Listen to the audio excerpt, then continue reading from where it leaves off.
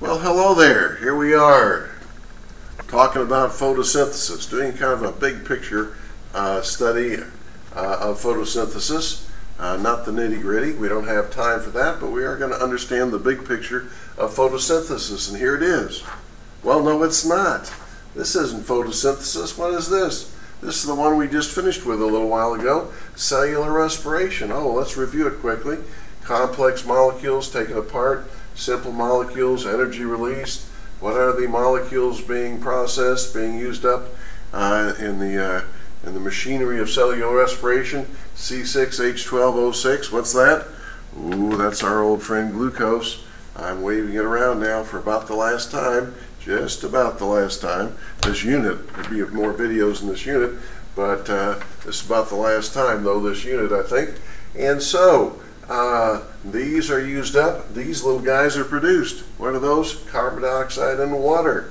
All right, so what's this got to do with uh, photosynthesis? Well, let's think about this a second. Uh, what uh, what uh, critters are doing, uh, what organisms are doing this side of the circle? Every living one, right? Every living cell in every living organism is doing cellular respiration 24-7.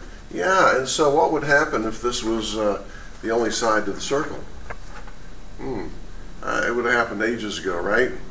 Or something, or it never would have gotten started. But uh, anyway, uh, we can at least see that uh, if right now this side of the circle disappeared, complex molecules would eventually be used up, right? Uh, There would be, they just, the world of life would run out of complex molecules. So I hope there's something out there, and of course there is, something that will build up complex molecules at least as fast as all living things are taking them, taking them apart. And yes, there is that process available. We know what it is. Obviously, it's photosynthesis, right? So this other side of the circle is the photosynthesis side. Photosynthesis, in many ways, is exact opposite of cellular respiration and what it accomplishes. And so this is a put together side.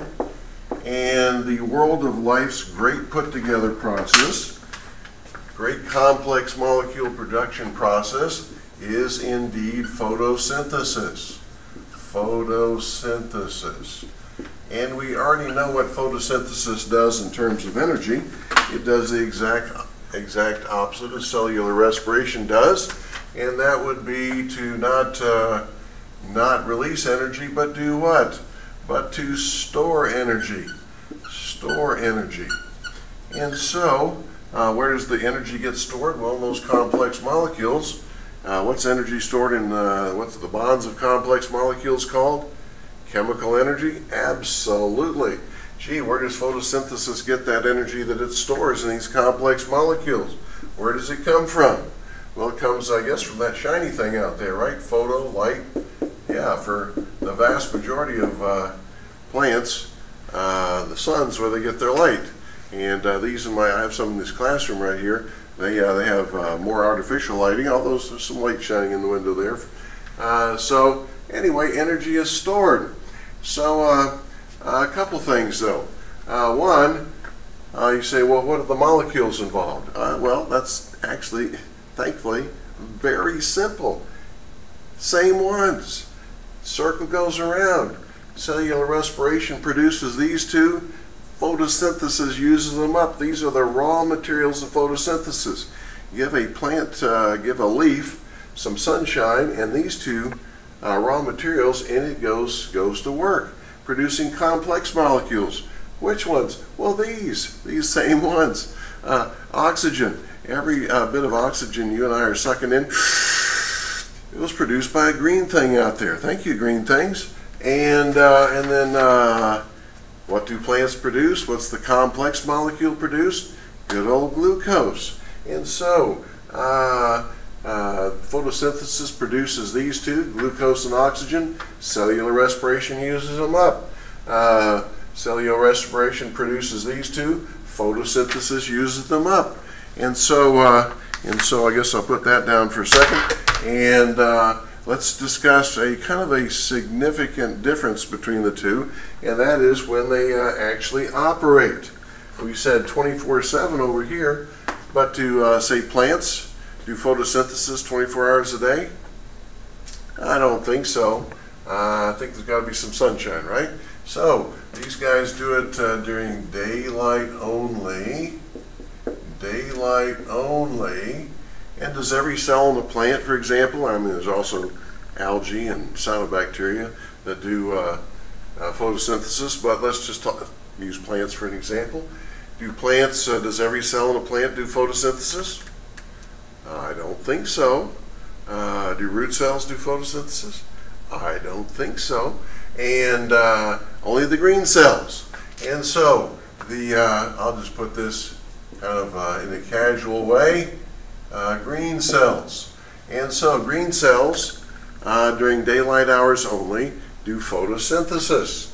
All right, there you have it. There's the there's the kind of the comparison. Uh, basically, in most ways, they are kind of do the opposite type of thing. And uh, so, if I was to ask you on the test a question like uh, we see in your study guide questions, your study questions down below, considering photosynthesis and respiration, which one produces oxygen? Well, if you kind of keep this in mind, this is a clockwise circle. Which one is producing oxygen? Okay, it's photosynthesis. Which one is using up oxygen? Cellular respiration. If you think about it this way, it's simple. Photosynthesis does exactly the opposite of what we what we do. Uh, we're uh, sucking in what gas? Oxygen. Exhaling which one? Carbon dioxide. Photosynthesis does the exact opposite. Photosynthesis sucks in carbon dioxide and exhales, so to speak, oxygen. Exactly the opposite. Finally, the last question we'll discuss in this video is number six in your study guide below. Uh, in view of your last several answers, why is there oxygen available for us to breathe? So what in the world is the professor talking about here? Why is there, oh yeah, the oxygen we're breathing, we said is this oxygen. It, uh, it uh, maybe floats away or something like that, but how can it? What do you mean how can it? What are you talking about? Let's take, take a plant. Plant does photosynthesis when? Daylight only, just the green cells in the plant. So it's just producing oxygen during the daylight, and only the green cells are producing oxygen. But is that very same plant doing cellular respiration? All living cells? Does every living cell in a plant do cellular respiration, including the root cells? And the green cells? Every living cell, right? And they're doing it 24 hours a day. So a plant only the green cells are producing oxygen during daylight only. That very same plant, every living cell in that plant is doing cellular respiration 24 7, including using up this oxygen. So, how can there be some available for us to breathe? Obviously, what is the professor asking about? Uh, he's asking, I suppose, of these two for a green plant, which is the predominant process, which had better be the predominant process for us non-green things.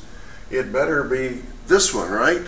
Photosynthesis produces more oxygen during daylight hours than that plant cellular respiration uses up in all its cells 24 hours a day. So lots more photosynthesis takes place in terms of oxygen production than plants use up with cellular respiration. Excuse me. All right, with that cough, I think we have uh, finished this particular topic. All right, see you in the next, uh, see you back in the lesson material, I guess. All right, bye-bye.